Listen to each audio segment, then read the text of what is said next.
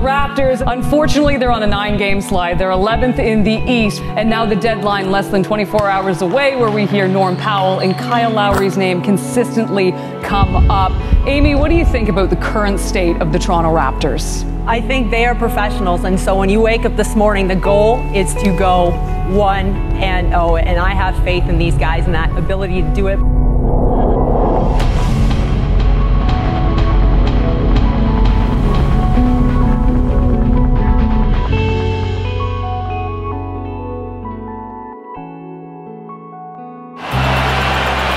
For the Toronto Raptors, this will be their ninth consecutive loss of the season.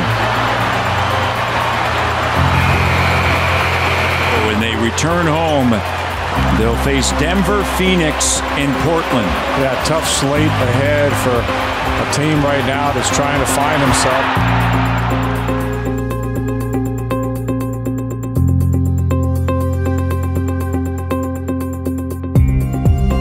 Know, we've been losing a lot, a lot of games, but we haven't particularly played bad basketball um, in all those nine games. I think we've had stretches of bad basketball, and obviously, you know, to me, those stretches is why we're losing. Um, but it's not like we're, we're a bad team or we're just, you know, playing a little too much consistent bad basketball at certain times. Um, and I think it's just a mindset switch. And it, like, we're too talented we're too good of people and too, you know, too too many good people around here to be like, oh, we, we do this wrong or we do that wrong. It's just a mindset switch of getting back to the basics, getting back to the fundamentals of stuff that make us the team that we are. Um, and we should have no problem. Like we have a lot of champions, experienced guys around. Um, we know how to win basketball games, and um, and I guess this goes to show you how hard it is to win in the NBA. Like we have a lot of good players, and we're on the bad end of the stick right now. So, you know, let it be COVID or let it be anything you want it to be. We have to, no one's gonna save us. We have to pick it up for ourselves. From, from this way? Uh, whichever way you want. Whichever way you want to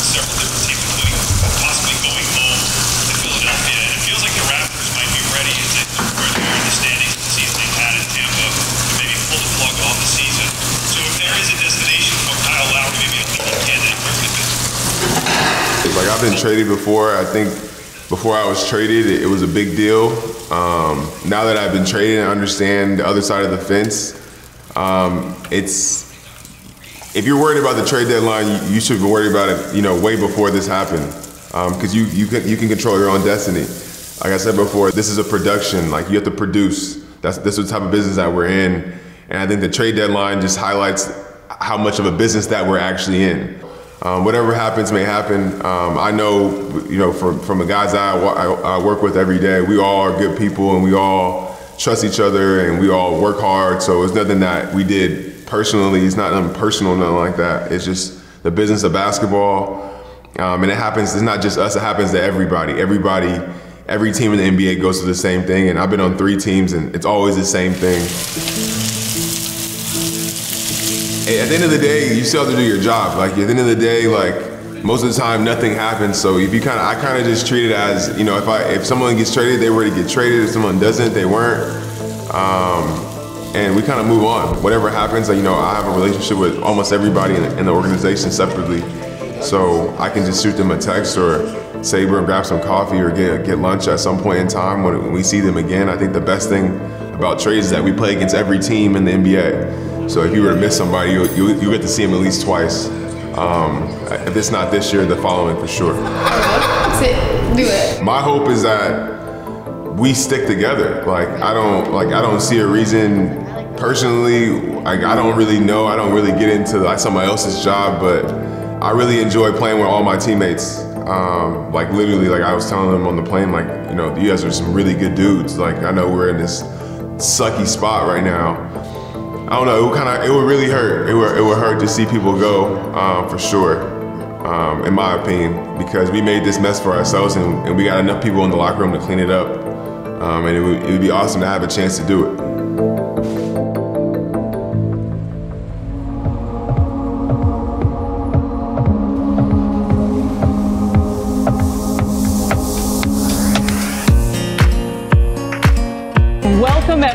To a little bit of history tonight. My name is Kate Beirness. This is Amy Audibert. We've got Kayla Grey sitting by on sidelines and over at Scotiabank Arena, our Kia Nurse and also WNBA All-Star. And we also have Meghan McPeak doing play-by-play tonight. I think for myself, you know, growing up in Canada, watching sports, there wasn't anyone who looked like me really, um, and and I didn't have anybody to look up to in that sense, especially you know a strong black woman. And now, you know, coming full circle, I'm along with the many other women of the broadcast, when we, we look at the five of us, um, three of us will be holding the main broadcast positions of the game, and we're all women of color. Um, so that's something that's impactful for you know young black girls who may be watching this, and that's really what I want them to realize is that they can see themselves in the three of us, and really girls across the world can see themselves in all five of us, and realize that you know if they just put their mind to something, if they put in the work, if they have the knowledge and the talent to do something, no matter what it is, you can do it. It's crazy, um, but it's amazing. I think the Raptors is an incredible organization. I feel like they're always kind of just up at the forefront of everything that's going on and one step ahead of everyone else. And this is just another thing that they're doing to continue to propel forward and to give us a stage that's typically dominated by males. Um, that's incredible. And I'm super grateful to be a part of this, to be a part of um, incredible group of women who hopefully if there's a young woman watching the game, because you know there's lots of young little uh, girls that watch the Raptors, I was one of them growing up, that they can resonate with any one of us. And this is what they want to do, awesome. If not, they see someone that looks like them on television and hopefully that can motivate them to be great at whatever they want. How do they continue to focus on tonight when you have the Nuggets in town? Well, obviously with this team, the amount of effort that Kyle Lowry and Norm Powell give every single night and what they're doing on the offensive end for this team is essential. So I think I can speak for all of us and say that we are absolutely thrilled to be here. And to all the young girls that are currently watching this broadcast, we welcome you especially because I'm not calling us old, Amy, but we're a little bit old. And when we were die-hard basketball fans as kids, we never saw this. We never saw an all female broadcast of women that are more than capable to do their jobs in all the roles. So we welcome in everyone, but especially those young girls. And please dream big. And one day you could be sitting right here, but not right now because we need the jobs and we need to talk about basketball. If you see it, you can believe it. Agreed. There's no way to look cute with a headset on. It's impossible. Like, look at that. Look at that one piece of hair. So, did we decide we're going sneakers or heels? Sorry? Sneakers or heels? Oh, I don't know. Pick one. I'm busy.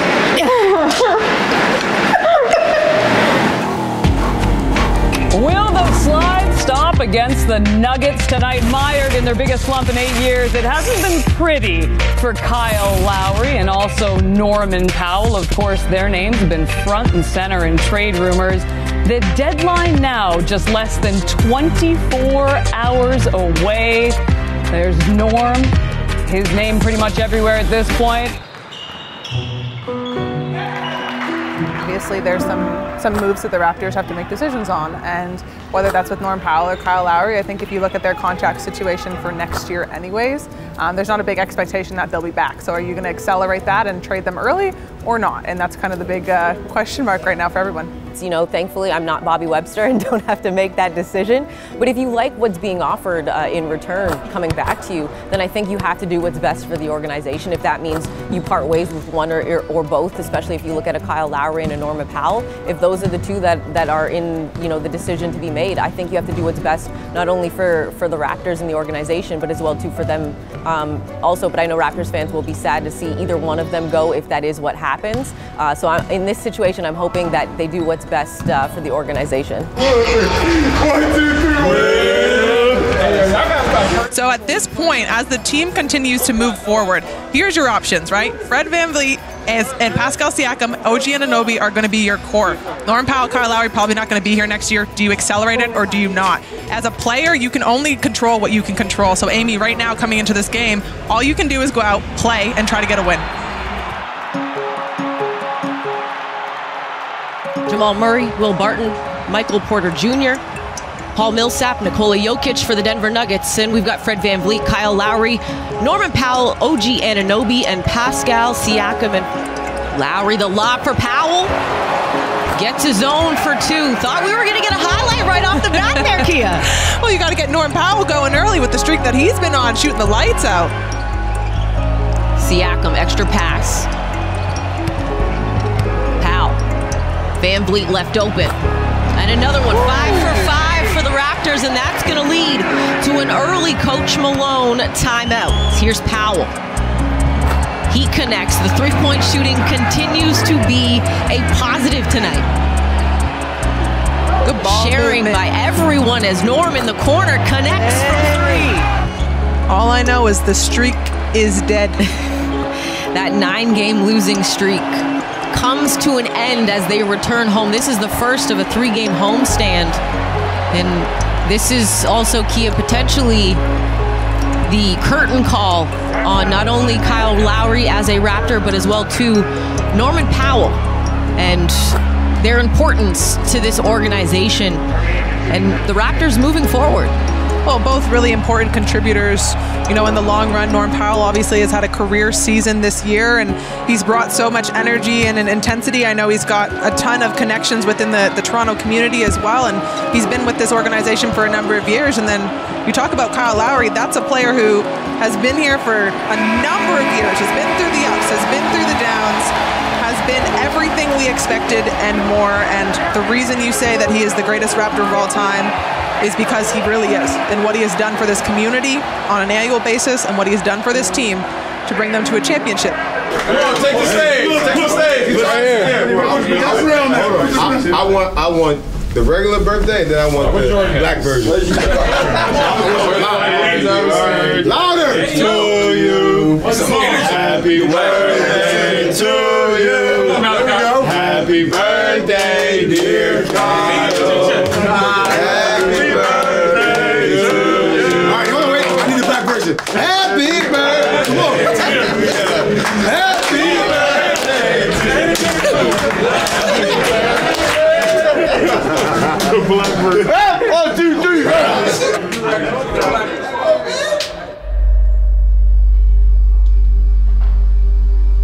this season has been up and down. You know, we've been uh, displaced, uh, obviously, and um, had a slow start, two and eight, and then I think we went 14 and six or something, something like that, and then two and 11 again. You know, like so up and down before um, the health and uh, safety uh, protocol officer knocked on our door. Um, a couple weeks ago, a week ago, yeah, a couple weeks ago, I should say, um, became tough for us. You know, like we had climbed all um, all, all the way back, maybe to possible fifth, um, fourth position, and then uh, we find ourselves um, in this position uh, again. Terence Davis to Sacramento for the 2021 Memphis second round pick that Sacramento owns. We're moving. Uh, we got a deal for Matt. He's going to be going to Utah. I think it's a uh, it's a good spot, winning team, and you know, like um, hopefully you go find your niche there and find find something, you know, like. But I I, I really respect everything that you brought to our organization and your um, your time spent here. I appreciate everything you've done for me, man. Thanks a lot. Uh, thank you, man. Good luck. You know, if you need anything, we're here. Okay, you have a friend. Okay. Definitely, definitely, Masai. Thank you so much, man. Thank you, man. Thank you. Good luck, man.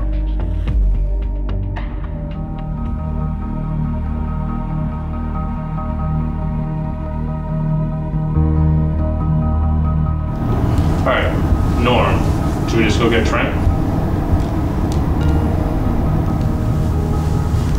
So we'll go to Trent. All right. Roland's in. Roland's in. So let's go to Trent. The, the trade deadline is incredible, and leading up to it is is, is just is something of uh, you've never is it's such a event, you know, and and every uh, I know general manager or um, personnel uh, people front office will tell you about it. You know, like uh, there's there is, there are one million things we we talk about, and you do one and sometimes you do none, you know, and yeah, all over the place, you know, different places. And did we come close, you know, like to um, to doing something? Uh, maybe in my mind I might say yes, but maybe on the other team it wasn't so close, you know, like so you don't even know, you know, like we might be it might be one on our board, and on their board it was ten. You know, so you you never you never know. But um, yeah, there are a couple things that were um, that it seemed like um, could get done, but uh, we've learned that a lot of times these things, a lot of them don't happen too. So when the dust settled, Norm Powell was one of the first big deals to go. We know that he is on his way to Portland, and we'll see him on Sunday, along with Matt Thomas and Terence Davis, who each yielded second round picks. And coming back the other way, as mentioned, Gary Trent Jr., who's the key in the deal, 22 years old, and the veteran, Rodney Hood. We're looking forward to this, um, bringing you on board. And I know it's an emotional day and it's, it's a roller coaster, you know, but um, hey, we, we, we go through this. This is our business, you know, like, and here is our job, you know, like to make it the best best home for you and your family, you know, like so. And we look forward to seeing you soon. Okay. All right, man. We're excited to have you, Rodney. We'll uh, we'll get you up here today, and you know, it's our business. We got a game tomorrow, so look forward to it.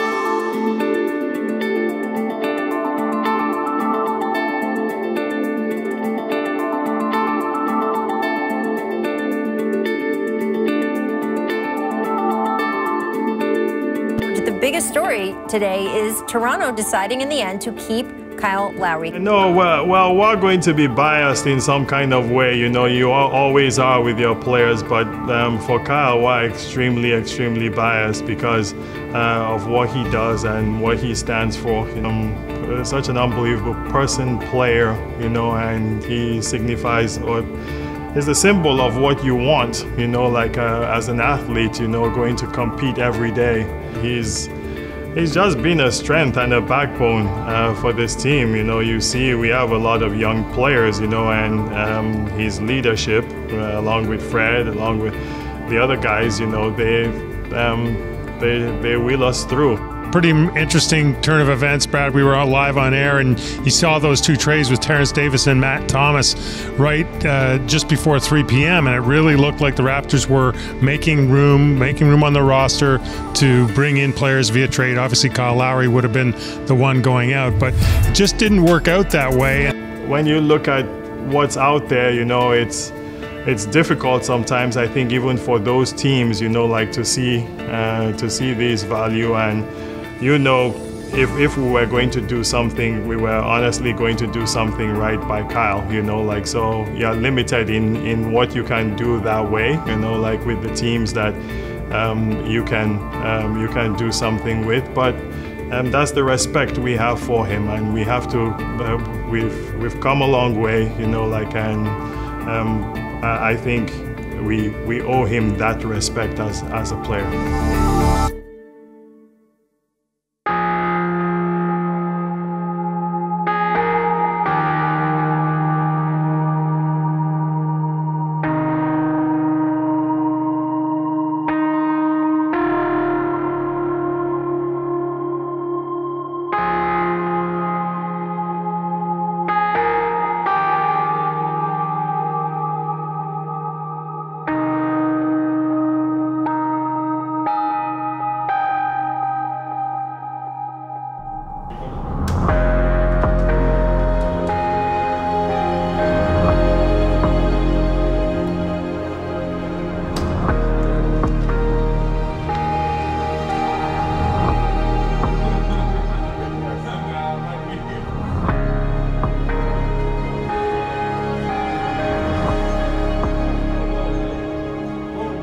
Really, really tough, you know, like, and first of all, I want to thank Norm, his family, his mom, you know, they've been incredible people, um, and he grew up in our organization, he's a draft pick of ours, you know, and, and that's, that, that, that touches you, you know, that uh, it's not, it's not, that is not an easy thing to do.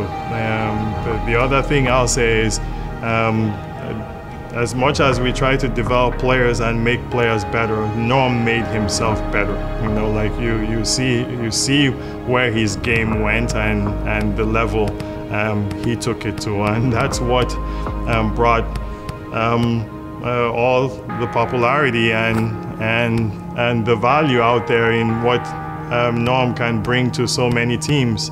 Um, and uh, Portland showed that, and um, we saw something there that um, we, we wanted to uh, uh, bring in a couple players, you know, that could help our ball club and maybe dial back um, a little bit with a younger, a younger player that's restricted, um, and um, bring in a veteran player um, like Rodney Hood, you know, to uh, to come and help us with shooting and uh, and in the locker room too. Um, so um, with Norman uh, is the most difficult thing to do because all these guys, you look at all the players, young players that uh, grew up here and they're, they're out there in all different places, you know, like um, we're proud as an organization that um, we raised them here, you know, and um, now they're men and they're going out to do even better things.